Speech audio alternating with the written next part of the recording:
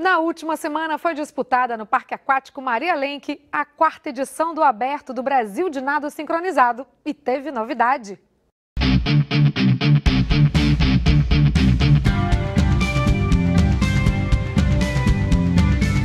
À primeira vista, nada de diferente. Em uma competição de nado sincronizado, diversas meninas. Não, peraí, tem um homem ali. E ele não estava lá por acaso. Esse é Anton Timofeev, com a companheira Oleksandra Sabada.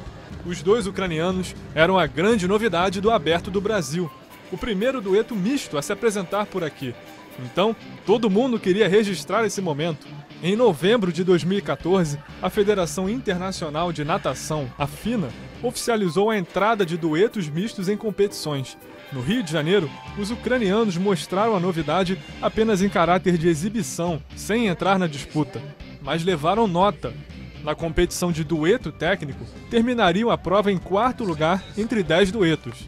Anton, de 26 anos, é a grande figura nova no meio.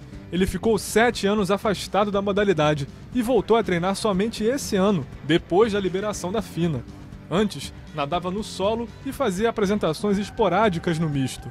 A competição aqui no Brasil foi a segunda dele junto com a nova parceira. Ele conta que para quem treina junto há apenas três meses, os resultados são bons, mas que eles podem se sair ainda melhor. Uh, Ele até acha que o dueto misto é mais belo do que o tradicional. Que tal então assistir a um pedacinho da apresentação deles e tirar as próprias conclusões?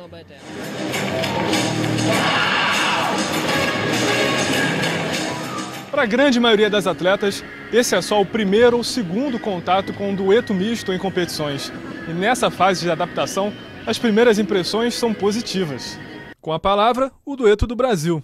Acho que todo mundo gostou, acho que todo mundo na hora que viu pela primeira vez ficou tipo encantado e tal, mas acho que todo mundo recebeu bem isso, acho que é uma novidade boa. A gente até buscava no YouTube, no YouTube algumas vezes para ver se era verdade, a gente ficava vacinado, uma coisa muito nova, né? uma bomba assim no nosso com certeza. É verdade sim, Luísa, mas não é muito comum. Procurando no YouTube, a gente encontrou só essa apresentação aí na Rússia.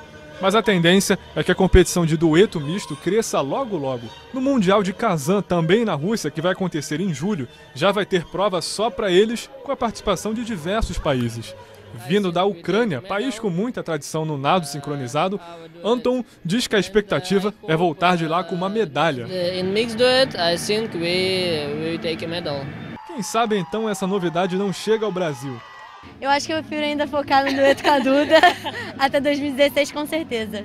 Mas apoio não vai faltar, né, Luísa? Tomara, tomara, com certeza. Super apoio essa ideia.